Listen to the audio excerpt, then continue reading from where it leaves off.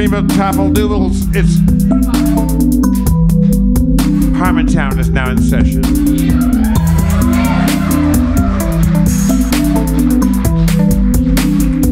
Let's welcome out our game master, Spencer Crittenden, everybody, please.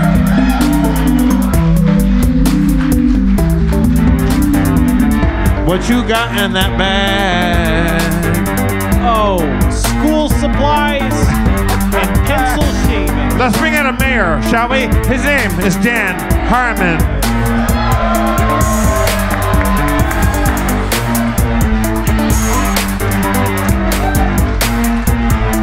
Oh.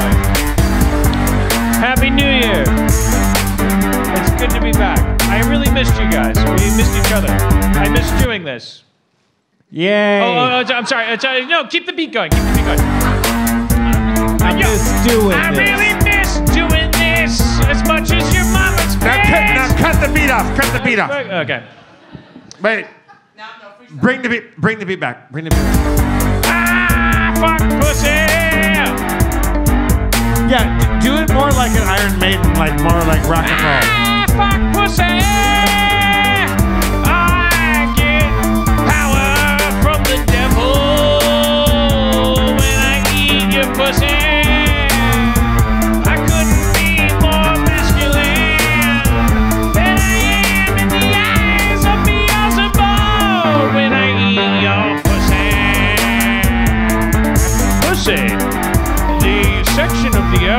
That is located. Uh, get out of here, egghead! I'm sorry.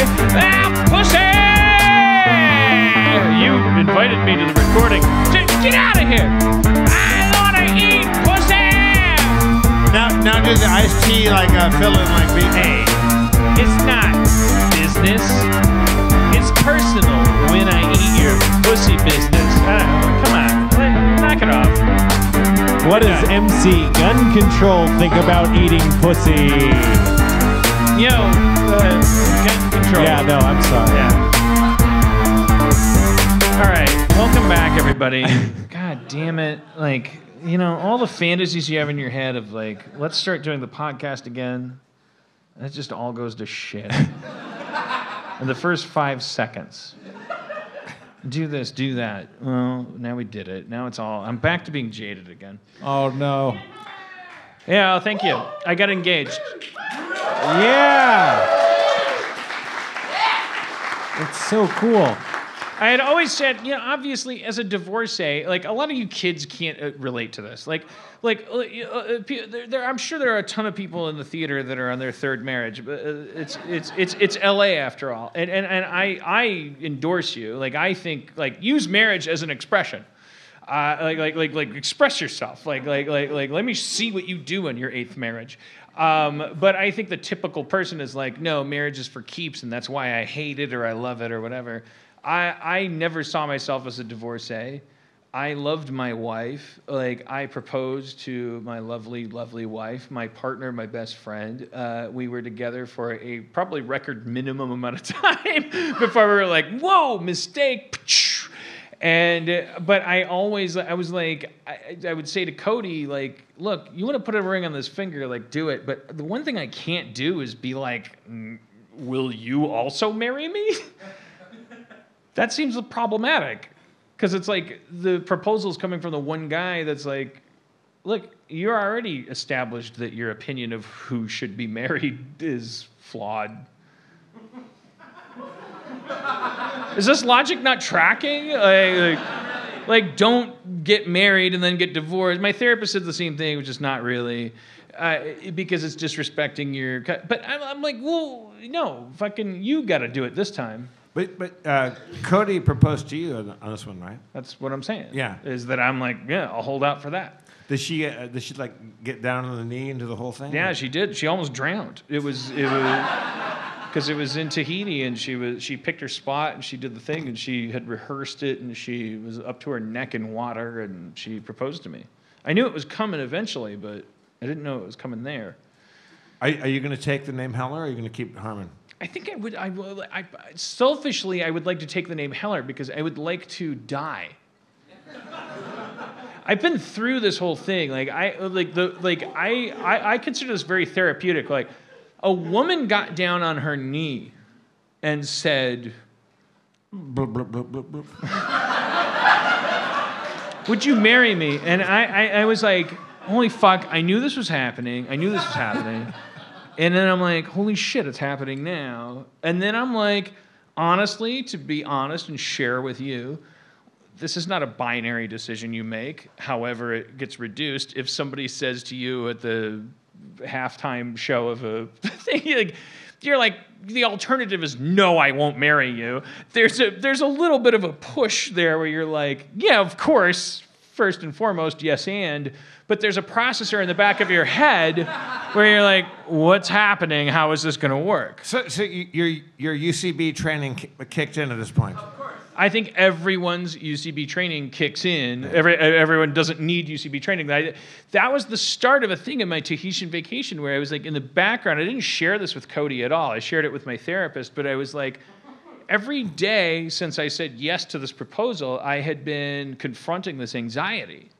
Or I was like, a woman just proposed to you and you said yes. And what have you given up? What are you doing? What's going on? And, and it, it, it made me kind of like go through these thoughts in my head where I was like, well, first of all, now I can get as fat as I want. but then counter that, I was like, no, you now have to get thinner than you've ever been. There's a voice from down here somewhere where like he's, he's not saying anything that I disagree with, but your, your, your license to speak is too liberal. Uh, uh, curtail it. Uh, I, I, it's distracting me. But, but even though you're saying exactly everything I'm thinking, I, fuck you. Silence. Free speech zone is in my butt. The the go get up my butt, sir. I, I, I started thinking in my head, it was like an emotional thing where I was like, oh shit, like when a guy proposes to a woman, the guy, it doesn't matter, like remove all of your politics about who pays for what and all this stuff. Like the bottom line is that a guy is like thinking about it and then buying a ring and uh, which is what Cody had to do. And like it's just that power of like when you hit the buzzer. I knew Cody was going to propose to me. I was in love with her. I wanted her to propose to me. I didn't know it was going to happen then, but that makes it no like like it was like sh- like she gets she gets to hit the buzzer in the game show of like we're married now. She she told me she's like, "Sh- should I? she told. I don't want to hear that you got to weigh in. That's awful. I told her don't do it. okay, all right, we go. But but like it was like and, and it was like there was this weight there was this thing of anxiety hanging over me. I don't know how much Would- of it had to do would- with the fact would- that would like look I've been married and I fucked it up. Like I don't would know you, how to Would do you this. have proposed to her if she hadn't done it? No, well, in- I don't know if I would have. I told her, I told everybody within shouting range. I was like, look, I love marriage, so I proposed to my ex-wife. It didn't work out so good. Therefore, what right do I have to? It felt like it's like, what does it mean for me to get on one knee and say, "Hey, you know what? uh, I got a feeling this one's real. I, I got a. quite-" It's sort of like to me, there's an elephant in that room where it's like, yeah, but what do you know? You're divorced. Like, like, like you're the one guy in this exchange that doesn't know whether or not you should be proposing to someone. You already did it. And it was always an open joke between me and Cody because she's and she's like, "What if I ever propose to you?" I'm like, "The day you propose to me, you get fucking automatic yes. I love you. I want to be with you for the rest of my life." But that and that that's sort of what, what all couples are in in in a, in a sense. Like it's not like hopefully there's not a lot of couples where someone's like, "By the way, uh, shit or get off the pot. And it's like, oh, fuck, oh, God. Like, we perceive it that way, but the truth is that you're like, you know, it's more of a continuum. And, and so that's why I was like, like, like I said, of course I said yes, because of course the answer is yes. And then for the next two days, unbeknownst to Cody, I was sort of like, in my head, it was like, why do I feel uneasy? And the answer is because this wasn't, I didn't, I, I'm missing, like the way you miss your wallet or your keys, I'm missing my agency. I, I, it's not like this isn't what I wanted. It's just that I didn't. I'm like I've been shocked like corn uh, uh, of like something that doesn't protect me anyway. It doesn't matter. I didn't want it, but I was like, it's gone. I didn't. It was. I didn't even know I wanted it. And then I started to think in my head. I was like, why don't you run through some exercises like, like what's your worst nightmare? I was like, okay, well, I'm been I've been taken. Uh, so it's my job to serve this woman for the rest of my life. And that actually kind of made me start, like, I was sort of like, like, I was thinking in my head, it was like, what if you were like property? What if you had been taken? What if you had no agency? What if somebody had looked at you and said, I want that? And you were like, okay, I'll, okay, I'll let you take that. And like, I don't want you to leave me, so I guess I better be on my toes from now on, as opposed to this other. And, and it- I, I wonder if any woman here could relate to that feeling. that's my point. Is I, I was sort of like in doses. I was sort of like subjecting myself, and the and the and the more I pushed the weird dystopian narrative, where it was like. What if you actually were just a slave? What if you were a servant? What, what is your nightmare? What is the worst thing? What do we fear about uh, what, do, what do these symbols represent? Ring on your finger, like ring on my finger. I'm doing this. I take that. My father pays for this. You, the, I, he gives you away. What, what all this transactional stuff, and then, and then like like like thinking about like my part of it and going like, what if I was like a damsel? What if I yeah?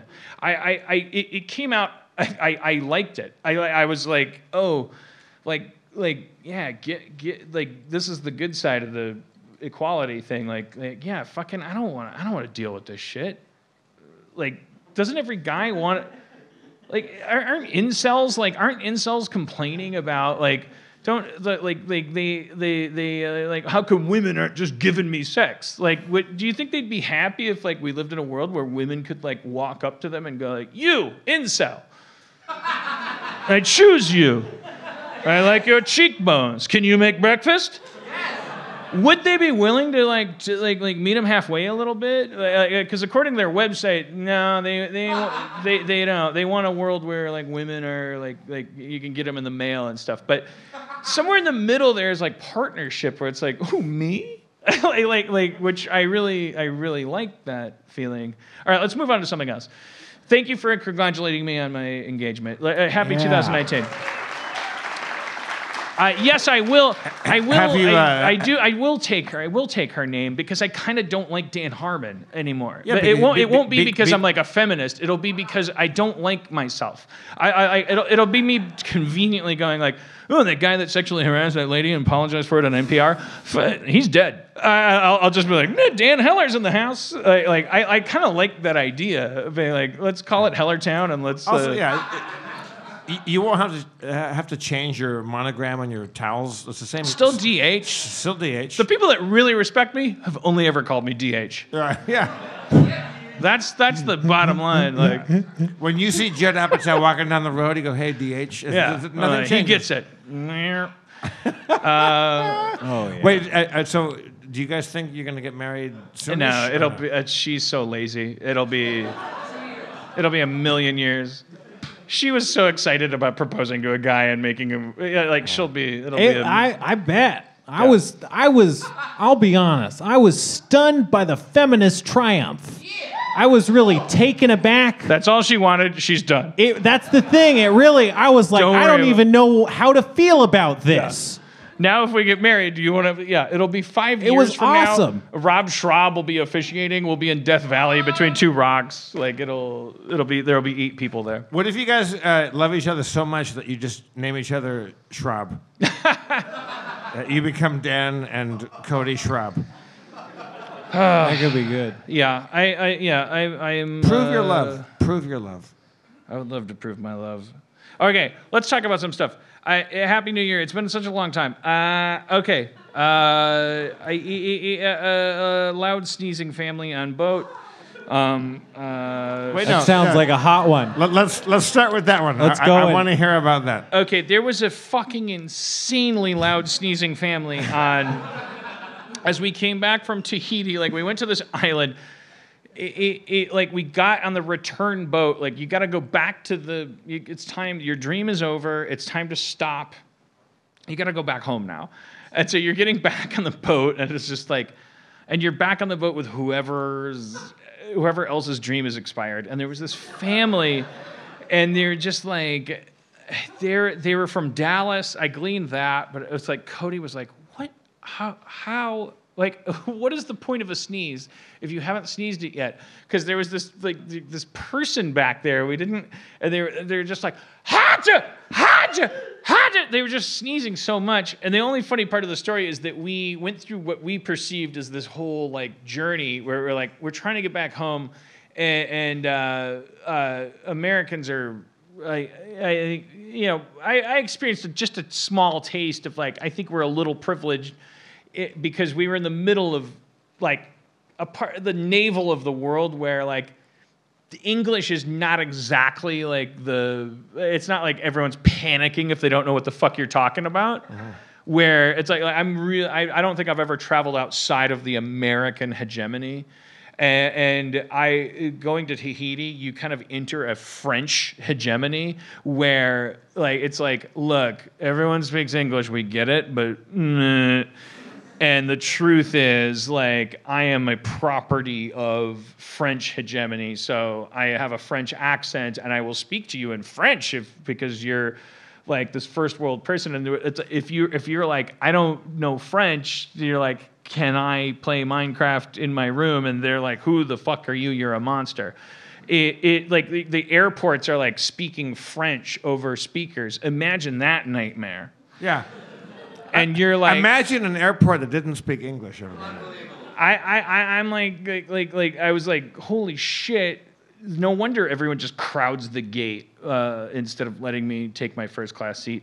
The, the, the, the, the reason I bring it up is because there was this family that like the boat, they're just like hachu, hachu, hachu. This guy was like kept sneezing, and and and Cody and I are like going through all this shit. And we're like, I can't, I don't know, like whatever. It's it's all good. Like I don't know what's happening. They called my name. Did you ever get your name called at an airport? Terrifying.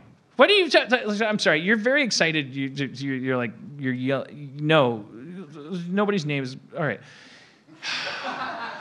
Happened to me once. Did you Scary. ever like? Did they ever? When I was traveling with you guys, Spencer. Crittenden, will you come up? Mr. and- Crittenden report to the thing for and- whatever. And you're like, aren't you thinking like, I gotta run. oh my god, I gotta get out of here. Oh my here. god, let me. Oh my god, like I'm interfering with the Push over operation of several a people. fucking thing. So like and now now imagine like a. Uh, like an uh, a, a French? like a French airport, Right.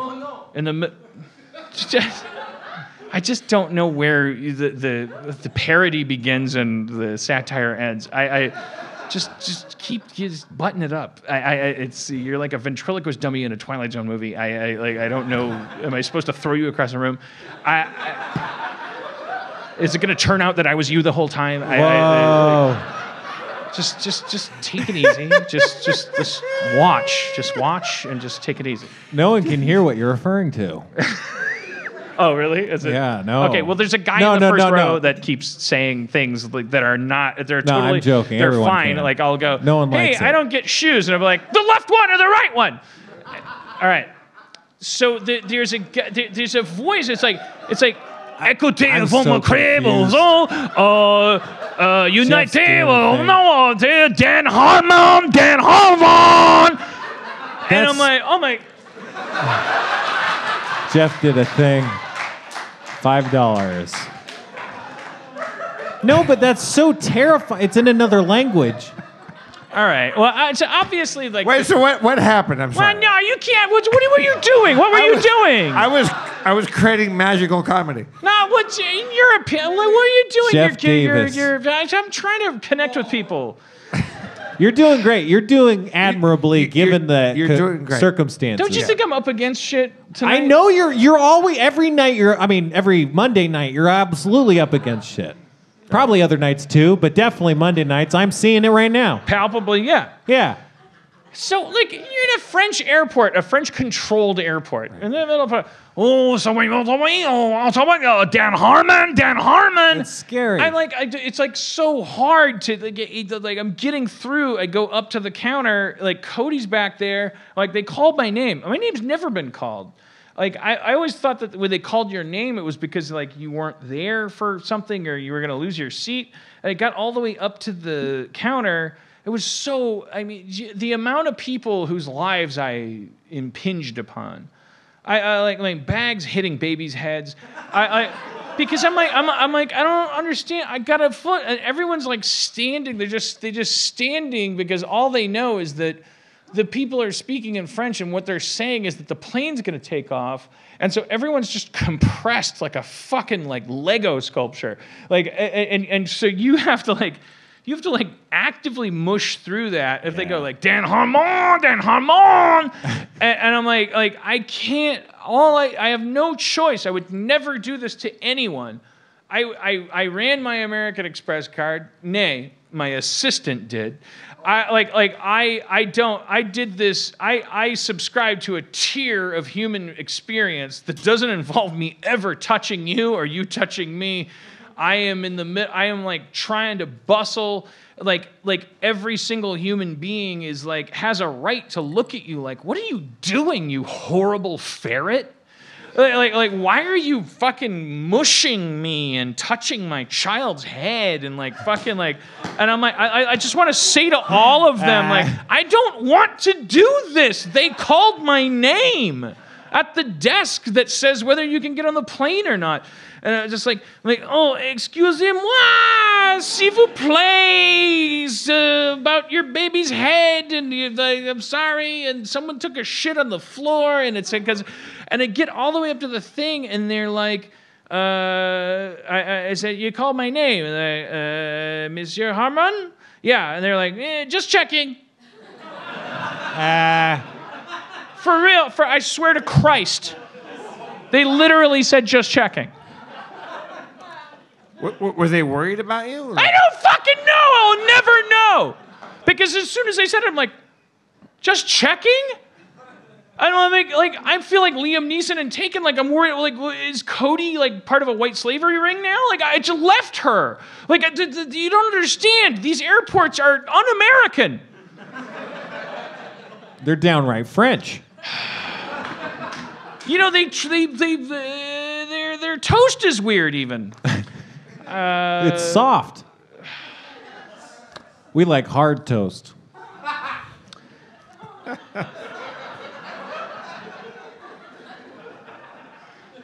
American toast, we call it. I may never. I I, I just I, it's, it's it's weird. It's like I love wanna- American toast. I love it too. yeah. None of that soft shit, It, eggs. has got no maple syrup on it. Yeah. fucking- Oh, but anyways, oh, the reason I was bringing that up was because we were in that position. Then we are like, we sat down eventually in this like terminal. And we're like, we're like, God damn, this place. It's like it keeps you on a razor's edge. Like you don't know the language, so you're like listening. You you know when the people are speaking English over the uh, intercom, it's already muddled, and you're like. I, for me, I'm on edge all the time. I'm like, I don't understand what the fuck you're saying. Eat the fucking mic. What are you saying? At this point in time, we'd like to emergency. If you was a stand up right now, get over to the gate. If you're a Vietnam veteran, and everyone's just like like understandably goes look man I, I understand like hierarchy in one of two ways. Either either everything's taken care of because i have no autonomy or i fucking like nothing's taken care of because i have all autonomy. Your airlines tell you everything you, you have no autonomy and nothing's taken care of. They tell you well, that'll be 300 bucks to go to seattle. If someone pays 3000 bucks they have a right to tell you you're a piece of shit. We're not going to police it though. Like like now boarding. Now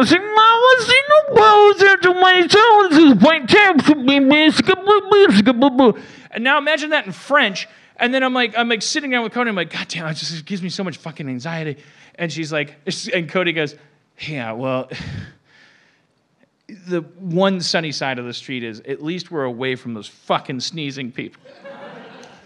Oh, like lit, you know at airport terminals they like the seats are back to back. Like the the absolutely like the, it was just like Hatcha!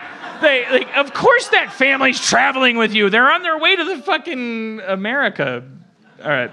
Dallas. it was really funny. Uh, look we got off on the wrong foot. It's 2019 uh, I'm, I'm glad to be back. I had a hard time traveling. Uh, I don't like other white people. I guess I don't know what, what, what my point is. But you, you, hate airlines. You like you, you I hate a real, airlines. You, you Yes. hate you hate air. A, a lot of people have anxiety when they're doing air travel, and so like you're expressing your anxiety about what a lot of people have anxiety about. Uh, when, when, when all of us travel, we all have a hard time. Like we, you're subjected to obviously a dehumanizing event, and I, I, I yes, I, I guess I'm uh, speaking from a place of privilege or whatever, where I'm like, you know, I don't get it. Like I only leave my house for one thing, and then it's like, and then I always like go, hey.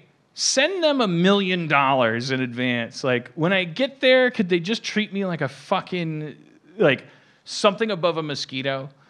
And the answer is always like, absolutely not. No. like, happy to take your money. Very enthusiastic about that. Oh, did you want the leg extendable package where you can extend your human legs to a point where you don't actually sustain permanent uh, uh, damage? Uh, sure. No, no, no. That's a million dollars. We'll take that million dollars. Thank you so much for flying American Airlines. We love your million dollars. So remember, we're the airline where you can extend your legs a little bit. And then you get there and they're just like, hey, who are you? What the fuck's going Who the fuck are you? Slow down. Whoa, whoa, whoa, whoa. Take your fucking shoes off and get the fuck back in line, you piece of shit. And you're like, whoa, I fucking paid a lot of money. And they're like, that's not us, it's Uncle Sam. Get your fucking shoes off. And I'm like, okay, I get it. It's the government. That's cool. That's fucking cool. That's all right. Still a little bit of back and forth. Each airline, they pick and choose whether or not you get to so, oh, here's my shoes. I gotta go, people. Get your name, get your number, gotta go. Don't care where you go, but you can't stay here. What's that, a zipper on your jacket? I'm a fucking idiot. It's humiliating, and it shouldn't be required necessarily to go visit grandma for Christmas. I, I, I, I- I don't see, I, they've tricked us into thinking that they're doing us a favor, but there's money changing hands. So where's the favor? But you like you you have a an irrational hatred of airlines. I have an aggressive Yeah. hatred of airlines Yeah. because if I'm gonna die, Right. and I am, Yeah. I would like Oh, I didn't mean like that. Spencer seconds that motion. Oh, sorry. All right. I didn't mean it like that. Okay, let's walk through this for a second. like, like, like, hey, uh, uh, anybody, uh, uh, you like this podcast, right? Like, some people pay for the podcast. You paid to get in here, right? So, like, uh, uh, uh, okay, uh, I'm gonna, uh, I'm gonna put you in a metal tube, and I'm gonna fling you into the air. And uh, if you even talk, I've talked to like aerodynamics like engineers, like because I'm always like, what the fuck is going on? How are we in the air? I, I, I you, you ever None talk to. You, you ever you ever talk to like a person that went to school for this shit? They always tell you, they go like, well, no, it's it's really not that big a deal. It, it, the you know the uh, big things on the wings, like they suck in the air and then they push it out the other side. That's how you stay there. What? Where's the air coming from? Well, you're in the air. It's like, it's like a paper airplane. It's like a paper airplane! It's like a paper airplane! It- it's not. like- Pass, pass, pass, pass! Well, then you can't. Oh, good luck. I guess your grandma's gonna die without talking to you about your. Okay, I'll get on a fucking flight. I gotta get on a flight to talk to my grandma. Just oh, of course I have a choice. It's like a, it's like every uh, every industry. Well, I'd like to go visit my grandma. Uh, which airline treated me well? Again, everything you're doing is exactly what I'm thinking. But stop, stop. So- But it's like you can't go to an airport and go, I like every industry that did this to you, like they would be outlawed. You can't go to an airport and go, my grandma died. I need to get to Seattle by nine o'clock. Like any other industry, like five companies would be like, "Hey, grandma died. Like, get on the fucking grandma caravan. Like, we're gonna give you a face mask. We're gonna think." And then other the price fixing thing would be like they would compete with each other. Like, I don't mean to be a libertarian, but fuck you. Like, the, like don't fucking give an industry like the ability to not compete with each other. But uh, is Dan honestly? Are, are you just like admit that you you're just a nervous traveler, and, and, and you're freaking out about the fact that yes, travel is is tedious and there's lots of uh, hoops to jump through, but you, you're just a nervous traveler, and you're. How is that different from, from being a nervous eater? Are you nervous? Either? If you go to a restaurant and you go like, "I'm sorry, like like I don't want to eat something that's gonna kill me," or I don't want to I don't, I, I don't want to eat like something that has a bunch of bones in it. Is, are you the asshole if the restaurant's like, "Yeah, well, fuck you. You wanted to eat. It's three o'clock. Fuck off." yeah, but that, that that's not parallel to what you're talking It's about. It's absolutely parallel. If I if I want to go to my grandma's funeral and it's in Texas and it's at a certain time, I have absolutely no choice over which airline I travel on. I don't have any choice at all. They have a monopoly. They're a So- so- cartel. So, it's not it's not about your nerves about traveling and, and being. Yeah, I don't want to die at the hands of fuckwads. Like, like I, I, like I, I want, I want the skies to be filled with planes. Um, and, and I, I, I want, I want, I want when I, I want to go to the airport, and, and I, I want, I want, I want people to be standing outside the airport and be like, "Hey, man, hey, where you going? Where you going? Let me hook you up." And I'm like, what's going on here? It's like, where you going? Well, your grandma died? I'll get you there. Oh, come on, let me tell you what you got. I'll be like, well, hold on a second. What's this guy saying? It's like, yo, man, your grandma died. I'll fucking hook you up. Like, let me tell you what. Uh, we're showing a Steve Carell movie. We're gonna fucking rub your feet. Like, like I want to fucking shop around. It's an American right. You spilled so much vodka during this. It's good. It's good. How is anyone? How, this how am carpet I the is- only one outraged by this? It's true. No, I'm. I agree. It doesn't make any It's bad. sense. It's literally like I understand you. It's like, don't Drink you your vodka. understand? Drink your vodka. You're spilling so much. It's They're fine. selling you the I'm worried about right your vodka. to visit your children in Seattle, but you'd have no choice. And then you get on the plane. Wait, I thought the peak when I saw them suffocate a dog. I was like, well, that ought to wake up a few Senate no. hearings. Are Dan- you? Dan, are you, fucking kidding me? You're- you're- like, I- they beat a man half to death and dragged him off a plane. These are terrible corporations. Yeah, but- they get together and compare. you're how just much a nervous should be worth. traveler. You, you're s- say Why that you're. can't- Nervous traveler. Why can't You're those just both a be nervous true? traveler. terrified. Yes, It I be both. You hate it. It you hate both. traveling. You hate being at an airport. You hate being on a plane. Why can't it be both? Who loves them? I like. Why is it? Why should they be able to take money from you? Well, I love- and then tu- I love and then them. turn you loose against each other. Like like when Nabisco sa- says to half the population or thirty percent of the population, "Hey, welcome to a new white chocolate luxuriant experience."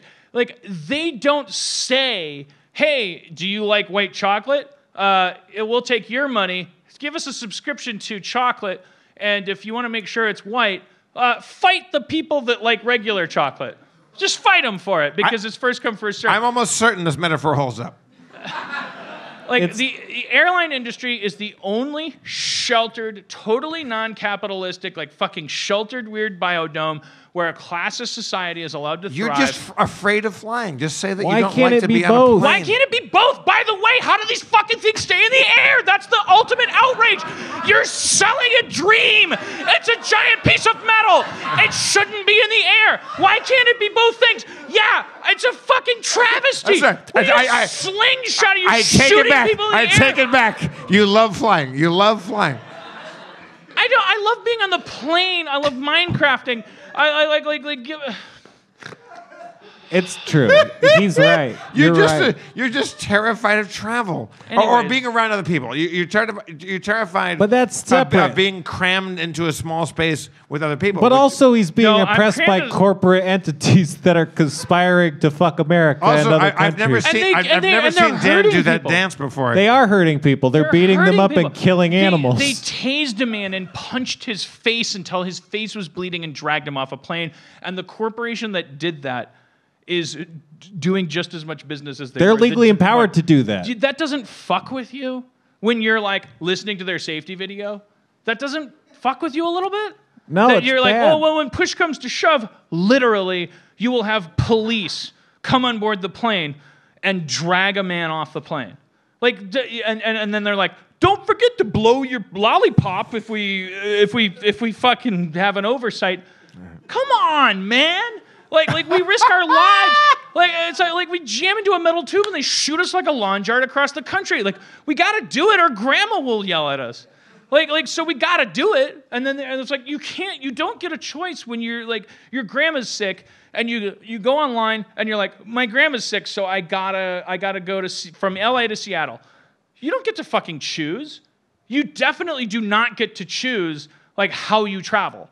Like they, the, the, you're, the, the, they'll say, "Oh, uh, this airline will go from LA to Seattle," and and like they'll fucking lie to you. They'll go like, "You you can't even like imagine the shit that's a variable." Like you go like, "I'm gonna go from LA to Seattle to see my grandma get married," and then you're like, "I'm gonna bring my To see, laptop." to see your grandma get married? And then you get on the plane. the premise is that you're, gonna, you're times have you to see your grandma plane? get married. And then you get on the plane and you're like, Or Barry. the fuck do I plug in my laptop? I thought I thought I could plug in my fucking laptop. And you're like, or it's uh, broken. Uh, flight attendant. And, and, and they're like, what? what? And you're like, I just don't, can't plug in. I was like, it doesn't work that way. Fuck off, you piece of shit. And you're like, okay, I guess I, I guess I fucked up.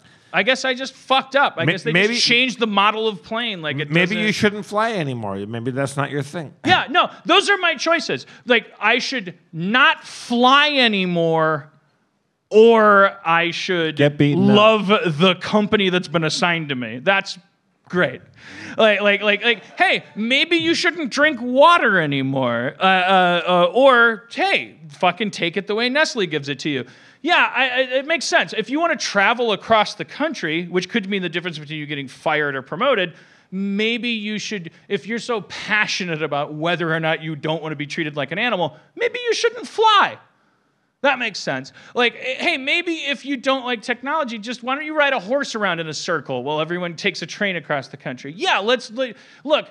Your side of the argument doesn't need any fucking support. It's called entropy or evolution. Like, call it whatever you want, but it's the side that doesn't need any help.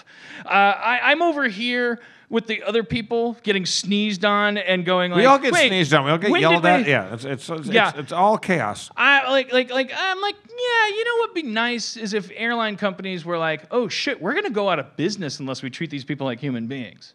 Fucking Zagnut has to hold themselves to that standard.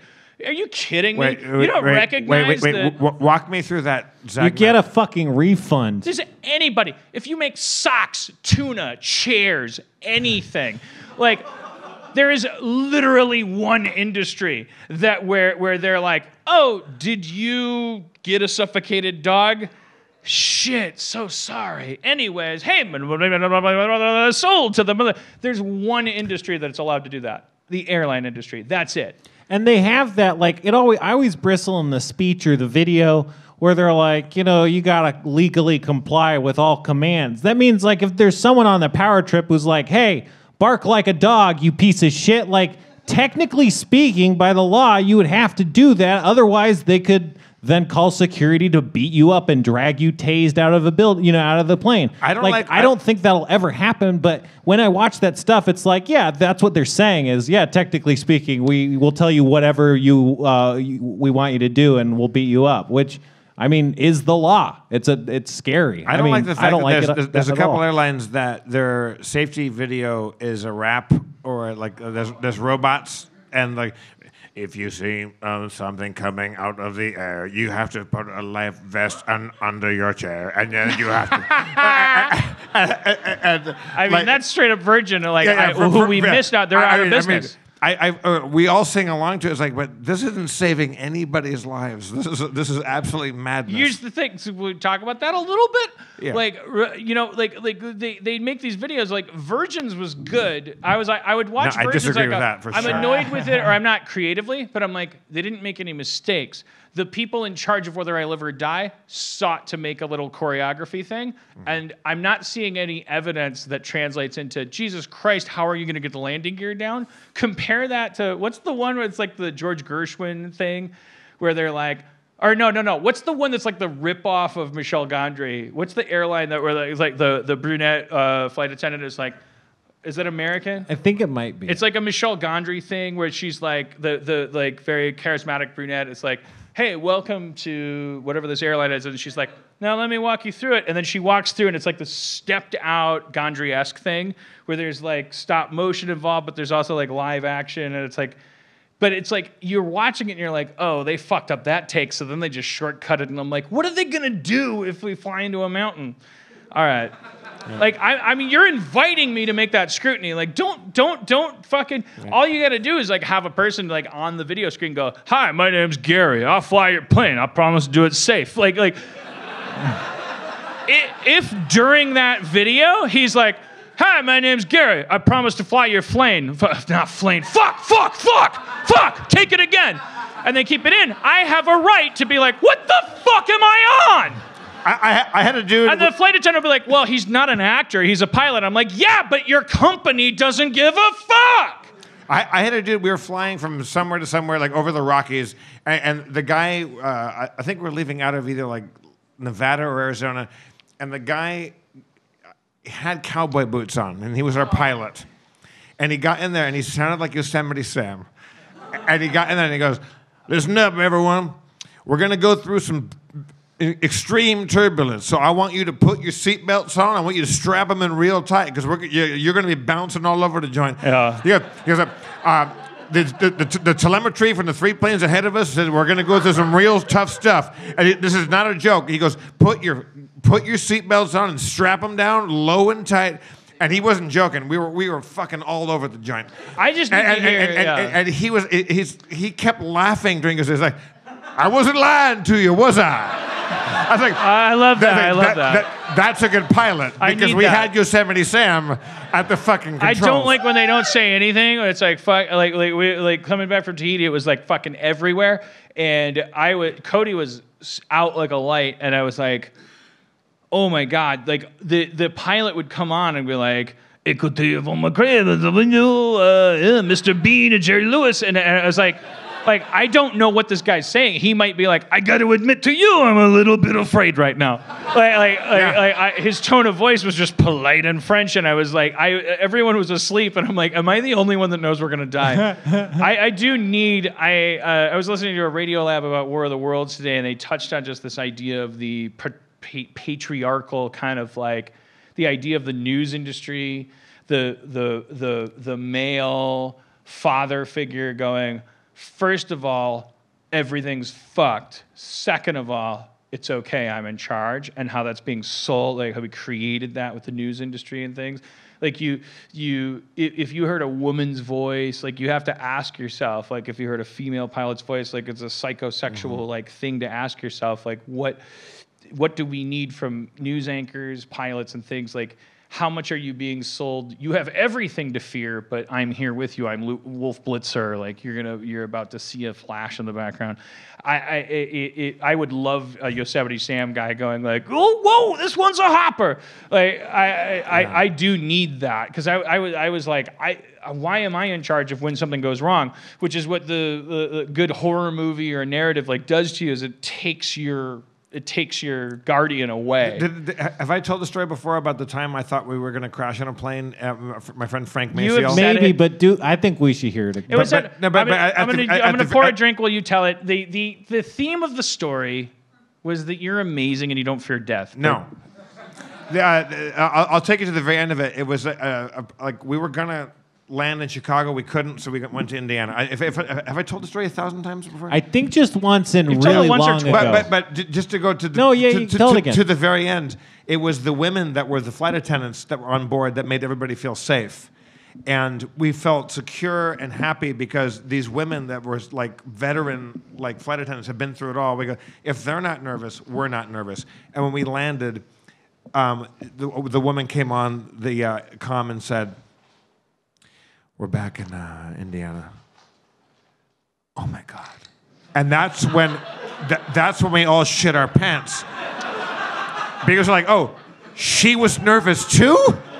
Like, like, like we, she, we, we all thought we were gonna die. We thought she didn't think we were gonna die. Right. Then we found out she thought we were going to die, and she is a fucking badass. Like she's John Wayne from fucking the, like the, the longest day. Uh, like, like, like, like we all like, we all thought we were gonna die, and she told us so at the very end.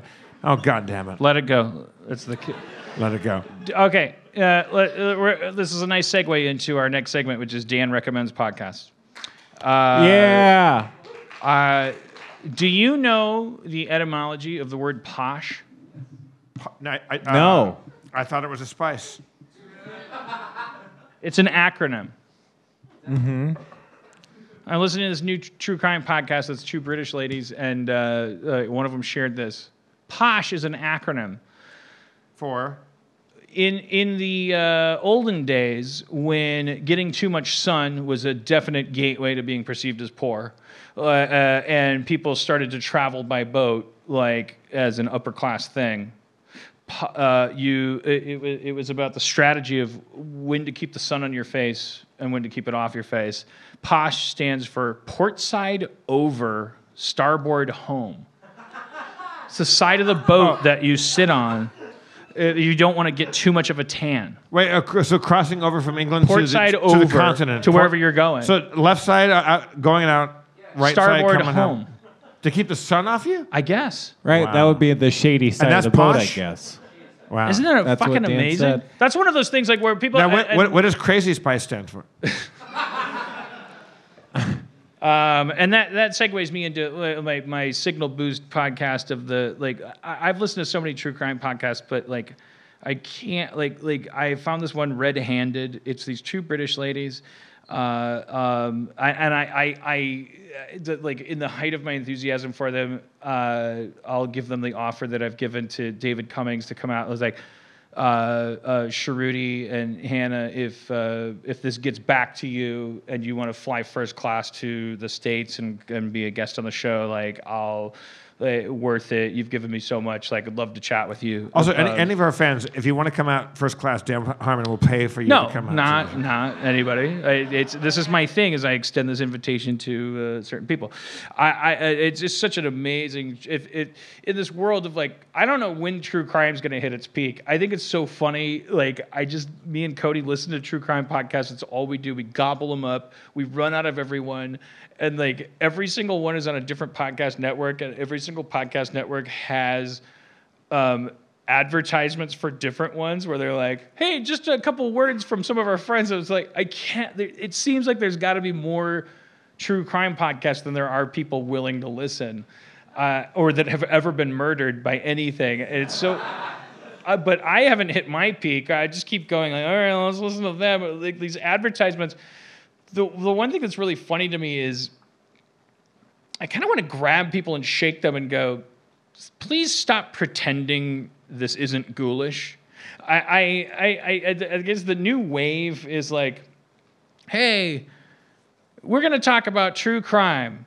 You're going to hear about strangulation and rape and murder, but it's because victims need not be forgotten. Uh, uh, uh, like, like, like they put this twist on it where it's like we're doing a service. I'm like, well, maybe you are, maybe you're not, but come on, that's not what this. Come on. I mean, I, I, I'll, I'll go to sleep on my couch and watch some Datelines, but I cannot do the Keith Morrison, the fucking guy. I fucking want to. I I feel, I feel like, I feel like, like, like Ooh. perfectly good And- and- uh, podcasts happened? about And people getting why murdered Didn't it happen? are, Ooh. are ruined by people that are like, oh, well, we should make sure. I'm going to we-" keep doing my Keith Morrison impression while you're talking. That's wonderful. But is is it good to do a Keith Morrison impression while Dan Harmon is talking? yeah, we don't know. Well, may- may- maybe it's not. I listened to But this But is pod- it good to do it again? The world may know. I've been listening to this podcast called The Dream Podcast, and I recommend it highly. It's about multi-level marketing and how uh, it affects people, and it's crazy. It's apparently all a big scam. Um, the only reason it's still around today is because there's this big court case that the people were about to, to go to jail, but they had like deep uh, ties to like the government and stuff, so they kind of like got the court case thrown out.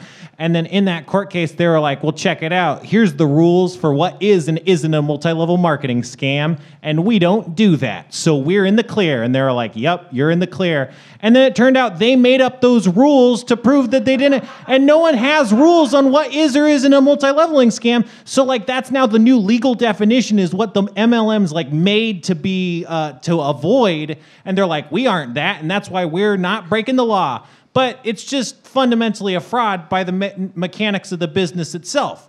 And the only reason that it can't always be prosecuted is because um, there's not always sufficient evidence to prosecute businesses and stuff. But it's all fundamentally a fraud.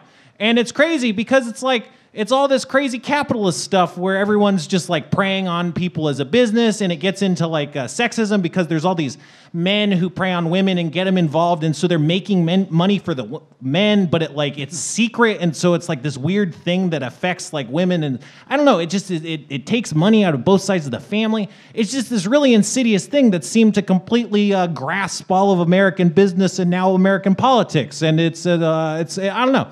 It's like you find out like every problem we have is kind of all connected to the same problems and it's like holy shit. To the idea that we we aren't able to recognize what is essentially a not even capitalism. It's like a pyramid scheme, or yeah well that's the thing is that like the multi-level market marketing companies that have gotten away with it for so long basically integrated have basically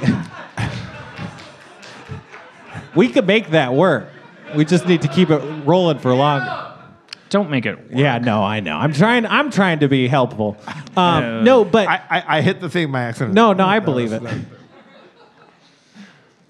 I lost my train of thought anyway.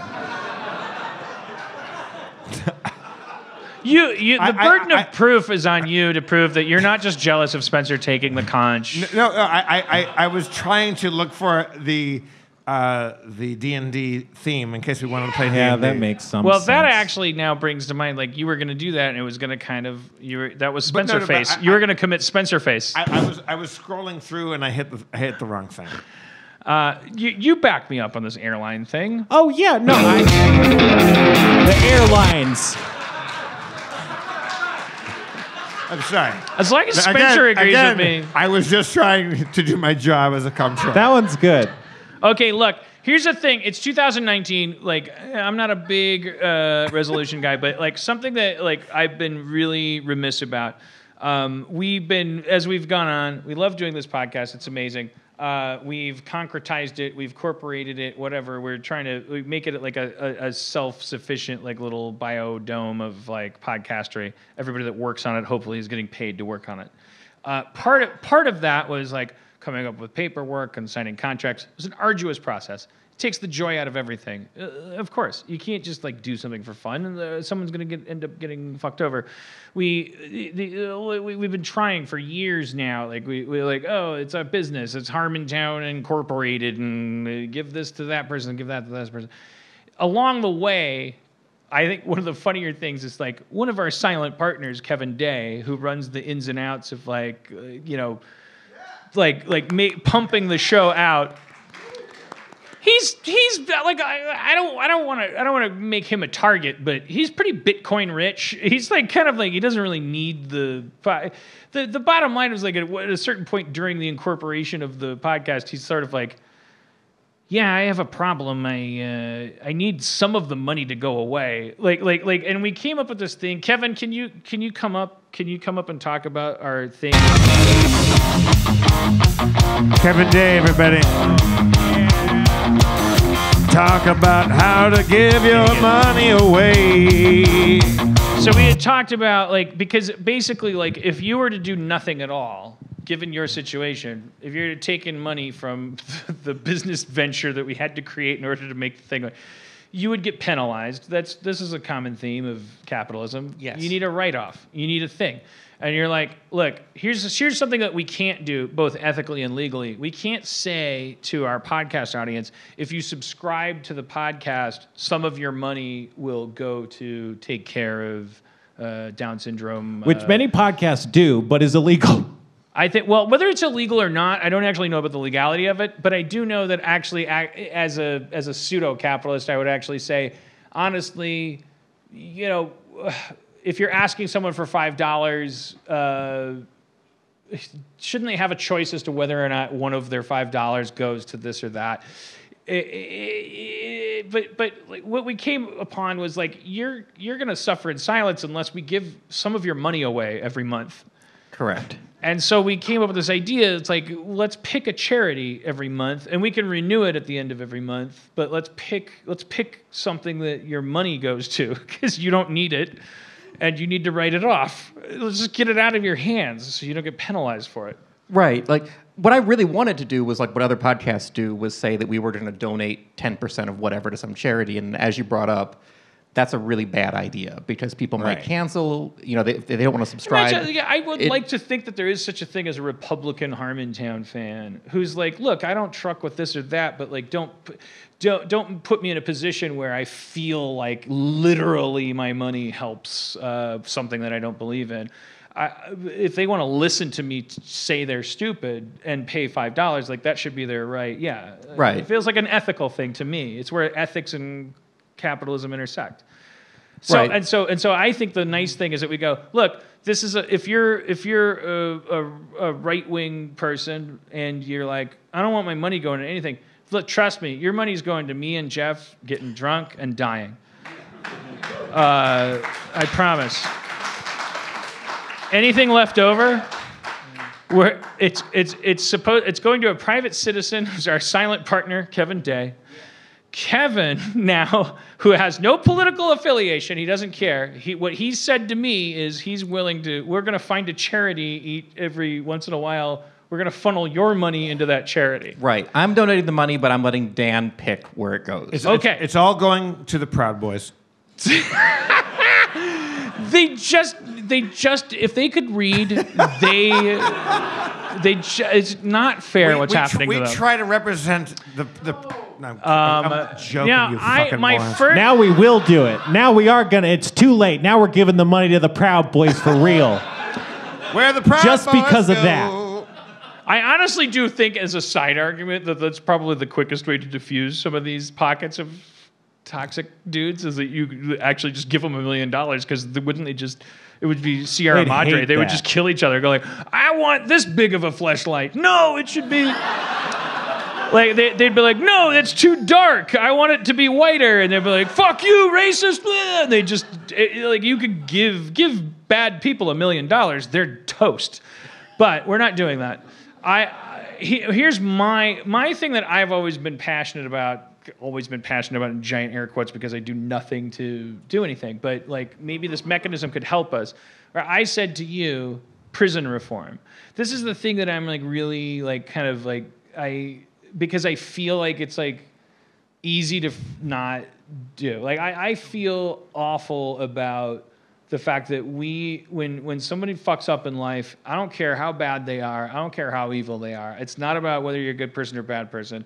If you end up in our system, like where we have decided as a society this is how it works, I don't like the fact that you get locked up and then your nightmare begins and that and that you're like deprived of shit that like maybe could help you like I don't I uh, like like I don't like that you can't get D&D books in prison. I don't like that you I don't I don't I don't like that we joke about oh well where you're going you're going to get raped every day and it's like well that was not part of the judge's sentence. Like I, just in general I think we have like a fucked up twisted idea of like it's like if we're a, a society that's going to lock up almost all the people in the world like it, it, it that's my thing. I real and so I told you that like two hours ago. I was like, look up prison reform, yes. and so we may pick a charity tonight where we're like, sounds like this. All right, all right. Here's where Kevin Day's money is going, and on the Reddit you may go. I looked them up. They're terrible. They're fake. Okay, let's find that out in real time. let's let's let's popularize the idea of charity shopping. So I, I, I came down to, to two options I wanted to give you. Uh, the first is the probably more well known and much bigger, but not exactly what you were asking for. It's called the Innocence Project. Right. And their job is mostly they go to people who basically everybody looks at and goes, "There's no way this person was guilty," but they're sat with a life prison prison sentence. They go to you know get sentences overturned, and Right. they're very big, and they all seem to be one of the most effective charities. And they've they've regularly been recognized for dollars going to them does the most good. I don't So- want to. Uh, okay, gut. Thank you mm-hmm. for. Yeah, mm-hmm. I'm. Uh, is I, I am actually more invested in like how do we treat like the bad people. I I I, I, I want Yes. the guilty people to not have to like in addition to doing their time and serving their. So mm-hmm. I, I, I I would like it if they could like fucking learn a trade and like and like not live in fear. But but Yes. I love the Innocence Project. Obviously, and arguably a great thing. But Right. So the one closer to I think what you're asking for is a similar project called the Sentencing Project that seems to have two goals. One is to give make sure people get fair sentences because too often people are, you know, thrown in some maximum security prison for something that was not needed. And second, one of their goals is while people are incarcerated, making sure that prisons are not more likely to produce good results when people are, are, are let out. You know, making sure things are not cruel, making sure education is available, making sure that you know job training is made available, and things like that. So they sort of seem to have a two pronged approach of make sure people's sentences are appropriate. how do they do that in a world where it's like state to state, city to city? Like how do they? Um, from the literal five minutes I've read about them, um, That's part of the joke is that I made you do this Yes. because I'm so charitable that I'm like this lazy. they meet with district attorneys a lot. Uh, they have provided information to states and counties and things like that about, you know, are you aware of the sentencing guidelines you, you guys have and what that produces and how this person here, because of the guidelines that, that exist in this jurisdiction, result in a 20 year maximum security. You never see your friends the entire time you're in jail when other states are doing things more fairly and here's how well this has worked and here, you know. So they present information to the people who make sentencing decisions to allow them some of the visibility they may not see They're trying. themselves. It's like an awareness thing almost, where they're like, "Hey, judge, hang 'em high," Yes. and "Hey, uh, uh, prosecuting attorney, uh, hang 'em high." Like you, you're getting votes and you're getting promotions by this idea that you're tough on crime, but. But it's like, not c- working. Can we make you aware of the fact that it's slowly making your city, for instance, like have like recidivism rates that are super high? Correct. And they, they've also done work too where, you know, they've taken prisoner complaints that have gone unheard of, you know, this this policy this prison has is unfair and just mean spirited for no good reason. And they've stepped in, they've filed lawsuits, they've helped people. Um, How do we penetrate that barrier where like once you get locked up, everybody outside is like fuck that person. And you're like can I get a toothbrush? And they're like fuck you.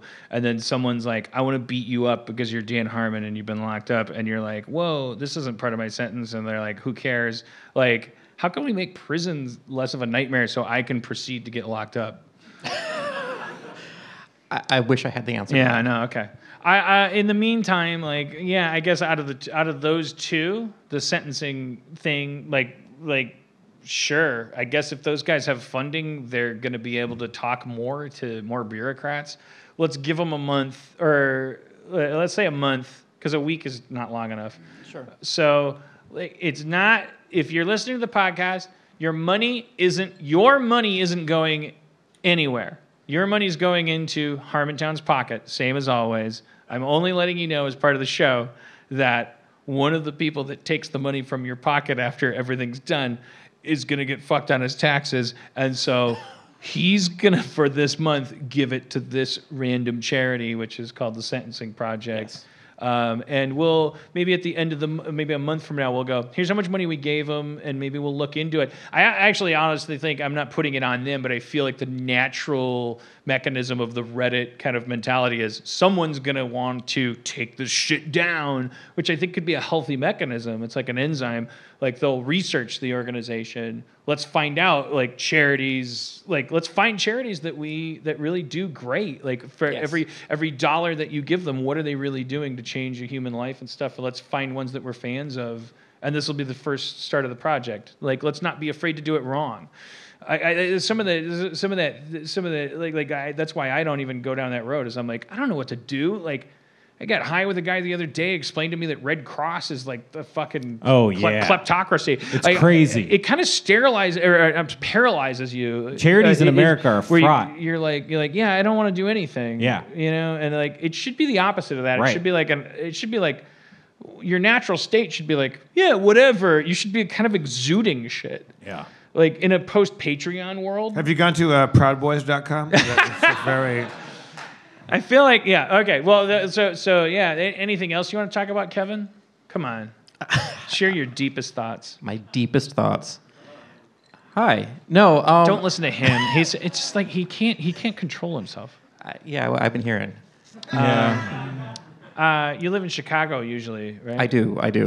Um. Uh, uh, fuck. I don't know. You seem like a secretive guy. Like you helped me. Were you, were you sad about that uh, field goal by the Bears the other day? I'm not a big football fan. Uh, good. Good for you. Good for Okay. you. All right. No Oh, heartbreak. fan. yeah. Yeah. we talked about the fact that the way that we really came. Did we talk about this in the podcast where you were like, "Hey, uh, do you own a, a, a, a MacBook Pro and an iPad 2 and a thing and like a, a list of nine things?" And I was like, "Yeah," and you're like. Yeah, uh, Cameron Diaz had you in her phone, and like you're part of like Fapgate or whatever. You need to change your passwords. Like, and I was like, "Blah, blah, blah." Yeah. Do you want me to explain that? "Sure." Okay. I think I just did, but I was there and I didn't get that, but uh, Damn. I got it, but I know what happened already. Right. So many, a few years ago, uh, there were some kind of high profile cases where celebrities were getting their iCloud and other accounts hacked. And what, what these attackers were doing, and, and there were multiple, would they would break into one person's, you know, they would guess your iCloud password. And once they've done that, they can download a list of all of your contacts, all of your pictures, all of your email, a lot of really bad things of Dan's you don't want to see. look, uh, my takeaway is Cameron Diaz has me in her phone. Right. So what what happened? You know, they would break into one person's phone, and then from that, they would get a whole list of new email addresses and, and everything else, and they would use that to try to break into others and break into others. And uh, a friend of mine who owns a bunch of web servers called me one day and said, "Hey, this one web server is acting really weird. It's making all these connections to iCloud, and we can't figure out why." And we went and looked at it and realized that it was being used to break into other people's accounts. And I had met Dan before and was looking through the list of people that it had broken into, and I was looking at all of Dan's personal information. And so reached out to Dan and went, "You really need to change your iCloud password because I got it. I got everything." Yeah. Yeah, What, what did you see? E- everything. no, uh, I I made it a point not to specifically look, but just enough to prove that. it What really did you see?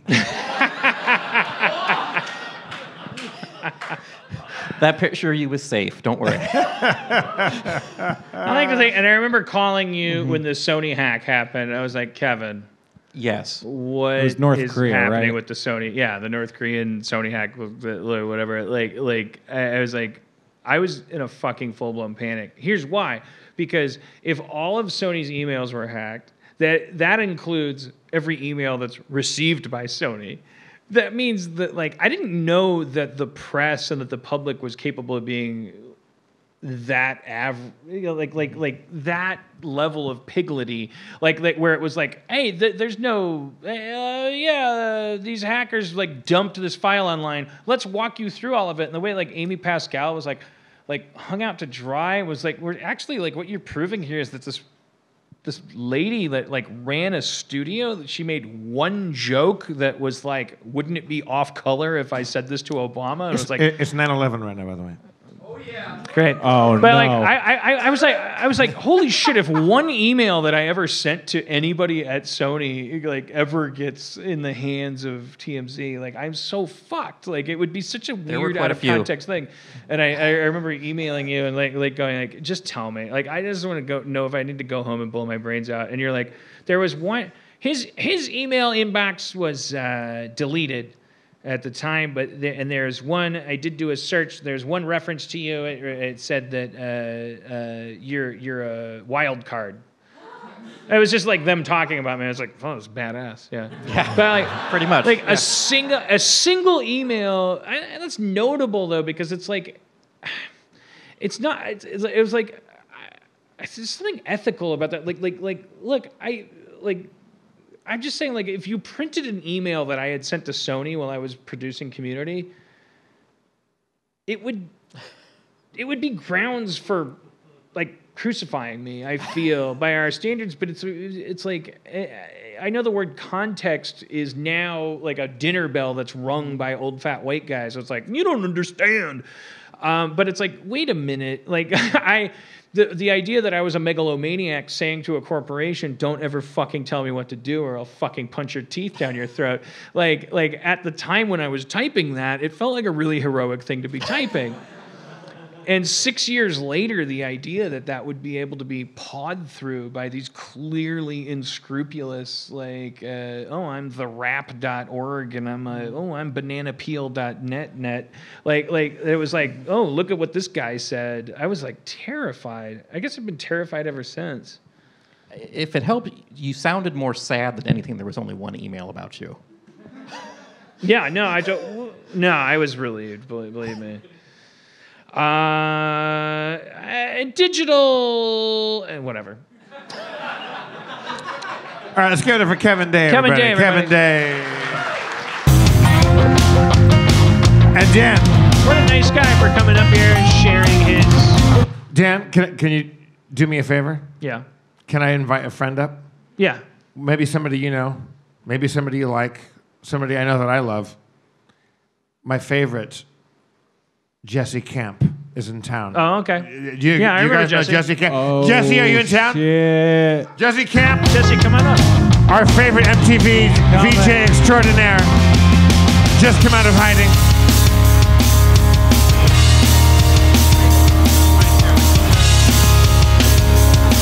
Hey, man. If you don't know Jesse, you're about to fucking know him, and he's the greatest motherfucker in town.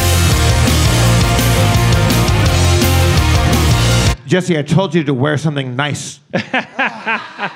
Well, this is from a uh, Guidan's Big and Tall in Reseda. The whole, they put the whole outfit together. They do me and AJ, Magic Johnson's gay son. so you know, between the two of us, a lot of business to to them. If you're in if you're in Van Nuys, Pacoima, that part of the valley, take a take a visit. But whew. When I first, the first time, the first time I met you, Jesse, and I, I, I will retell the story. We were at a party in some shitty dirt backyard in Echo Park. Okay, At, yeah. at a backyard party, and Jesse had, I, I, I will tell you, lots of layers on. Because Yes. Jesse is all about the layers. And, and, and, and Jesse comes and goes, Hey, man, I like your suit. And I said, I like your layers. And he goes, Oh, man, you gotta have layers. and then and then Harmon Harmon met Jesse and he's like, "Is this guy full of shit? Like, what the fuck is going on?" And I probably a- a half like, hour is he doing a character? yeah, is, it like, is, he, is he Uh, doing a routine? This is a bit. And then Dan, a half hour later, hung out with had, had hung out with Jesse, and came up to me and goes, "It's not a bit. I fucking." I fucking love this guy. I- and the thing is, to know Jesse is to absolutely fall in love with the most sincere, beautiful weirdo in the fucking world. I, I, I went to his house when you used to have the crib in Echo Park. Yes. And I opened up his fridge thinking there would be the Bone Zone. Maybe the bones. Well, I didn't know it was the that bones. was the street name for the dwelling. So I went. I, I went into his fridge, hoping there would be snacks or maybe a beer. Not in this fridge. All it was, all it was, bones. was one sad half full bottle of uh, Bragg's amino acids, and then nail polish. that, that was it. oh yeah, a lot of strip, a lot of strippers kept their polish up in my fridge, if you know what I mean. Oh yeah. You know how it be. Dries I think the fa- the fascinating thing was like well after I had met you, and I I was in a dark place. I don't know if you hear this a lot, but I was in a dark place when I was hanging out with you. yes, Uh, me, me and Mark McGrath But like I remember and the ye- Smash Mouth singer. years later, A lot of people my- hang out with him and John Popper, the Bee Travelers. You know, That's a dark scene, Dan. I'm sorry, my brother. It's all right. But I do want to say one thing to the listeners, the straight up listeners. Jeff just exploded. In person, Dan looks like a G damn handsome. Um, oh my God, Paul. And you guys know this. He's in like um, the bromance movie. Um, Paul Walker. No. Paul. Paul Rudd. Paul Rudd. Dan looks like a handsome Paul Rudd. You can't see it from there. You can't Oh, see it yeah. from there. Vintage Kenny Rogers. I'm not talking like plastic surgery All with right, the well, weird, now we're getting mixed signals. like day, daytime He's like friends. Paul Rudd, just like the gambler, man. Yes. Same thing, right?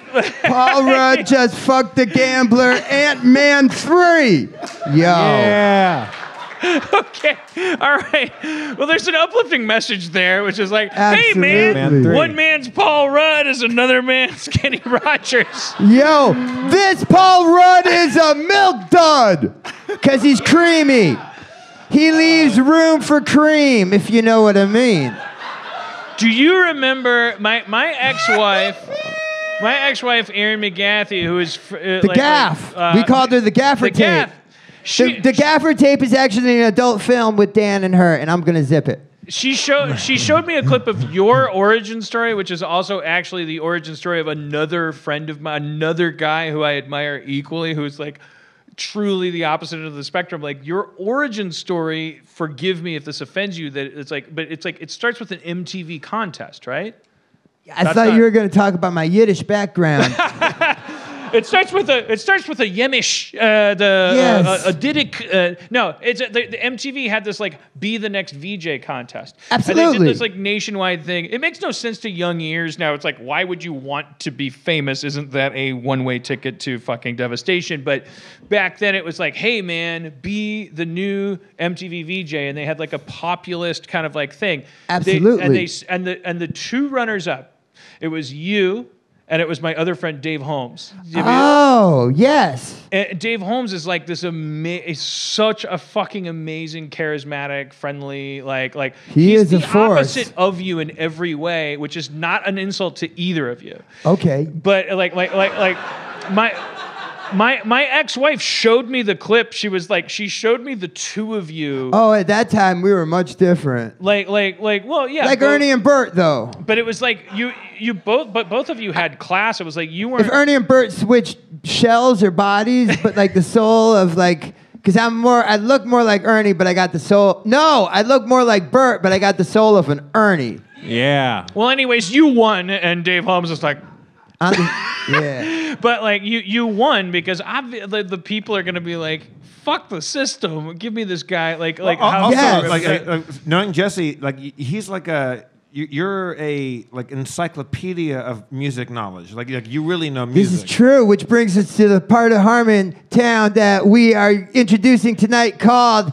Music Trivia with Jeff Davis.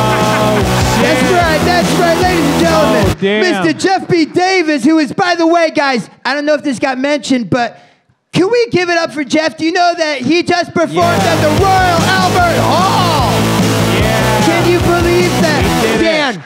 That's that's so amazing. And then we got to we got to tell some Jeff stories too. Like the time you, me, and Jeff got stuck in an elevator with Bryan Adams and Tina Turner, and uh, and a, a- bottle of absinthe. It's a, it's a, you guys want to hear that story? Yeah. Let's just say, let's just say Brett Kavanaugh knew what a Devil's Triangle was because we wrote the book or the calendar. Either way.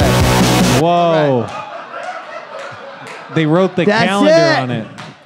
That's it. I, I ran into Jesse. I was uh, with, with, with uh, in the Jesse autobiography, I think we- I can. We, were in, we were in uh, it was New Year's Eve in Las Vegas. oh, this is a great one. Uh, it was uh, 2005, I believe, four into five. okay, and and we were at the uh, Yeah. we we were at the uh, the Hard Rock.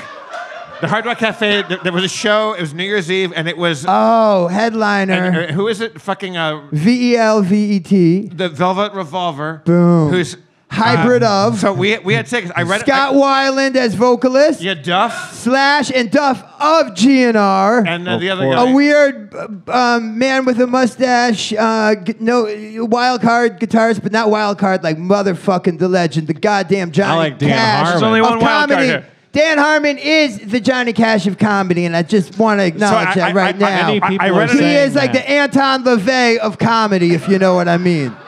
That's Dan. He's the Dark Lord. He's the Light Lord. But listen, he's the Lord of the Ring, and when he punches, that hand sings and it swings. All right, So you're I hired. just- You're hired. All right.